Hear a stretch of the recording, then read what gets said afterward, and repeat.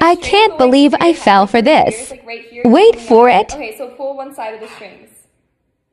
No, you pull my hand. Oh, oh yeah.